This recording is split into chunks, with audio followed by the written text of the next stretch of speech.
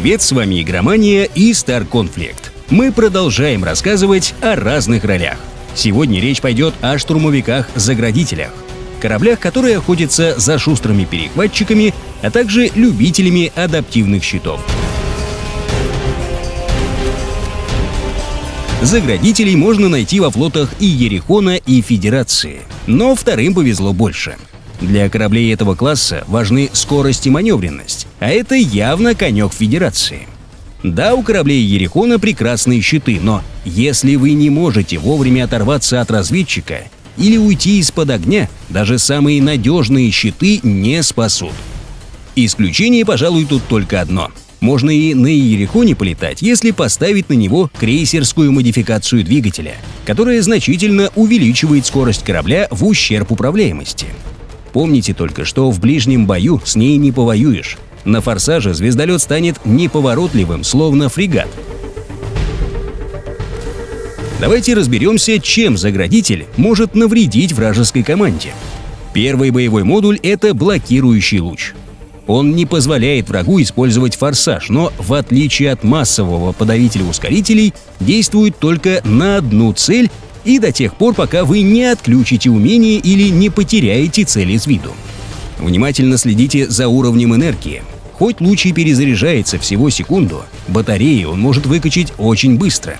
Чтобы облегчить себе жизнь, можно поставить на корабль стабилизатор напряжения или многофазный генератор. Тогда совсем без энергии вы не останетесь. Дальше у нас по списку подавитель силовой установки. Смысл у модуля тот же – замедлить противника и сделать его легкой мишенью. Но вместо отключения форсажа это умение напрямую режет скорость корабля.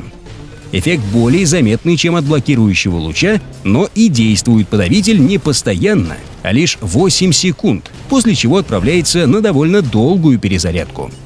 В спайке с блокирующим лучом этот модуль превратит любую цель в стоячую мишень, Однако тут очень важно правильно выбрать момент.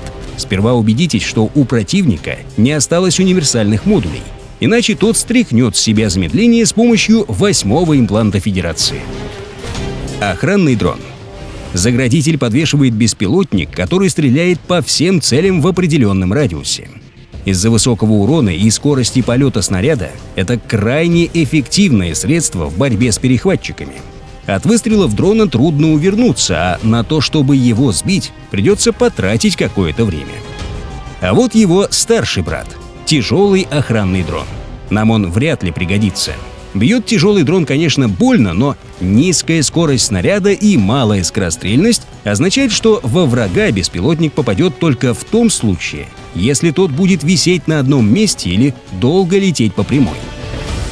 Следующее умение – точечный целеуказатель. Принцип работы тот же, что и у блокирующего луча, только эффект другой. Модуль делает цель более уязвимой к урону. Все бы здорово, только целеуказатель ест энергию с ужасающей быстротой. Пока он активирован, лучше забыть про форсаж, иначе за пару секунд просадите весь энергозапас.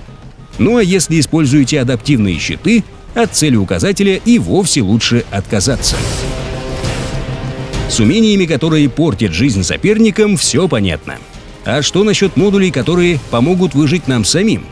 У заградителя есть вариант только один – спецмодуль «Хамелеон». При активации штурмовик на довольно продолжительное время превращается в невидимку. А когда эффект кончается, вы на несколько секунд получаете заметный прирост к урону. Но стоит помнить, любой полученный урон тут же выводит из невидимости – Поэтому при использовании хамелеона убедитесь, что диверсанты не повесили на вас плазменную сеть, а фрегаты прикрытия не достают ваш корабль пульсаром, иначе потратите невидимость зря.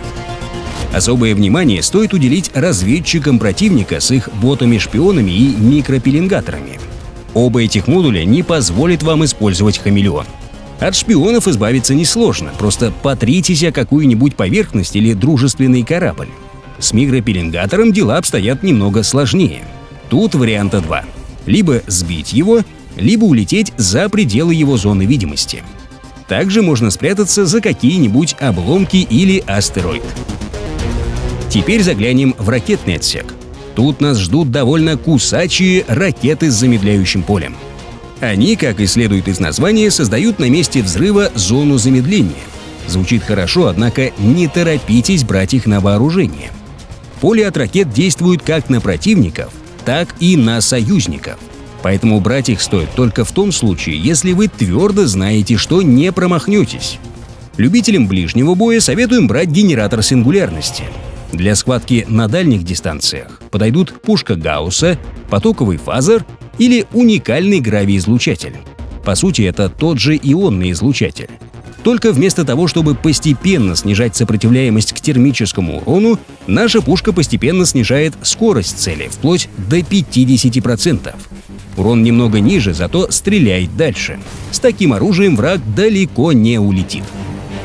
Оптимальная сборка для заградителя выглядит, на наш взгляд, следующим образом. Блокирующий луч, подавитель силовой установки, охранный дрон, а также ремкомплект или усилитель щита. Идеальная цель для заградителя – одинокий перехватчик. Используйте спецмодуль «Хамелеон», чтобы подобраться к нему незамеченным, активируйте блокирующий луч и подавитель силовой установки и берите его тепленьким, пока он висит на месте. Небольшой совет.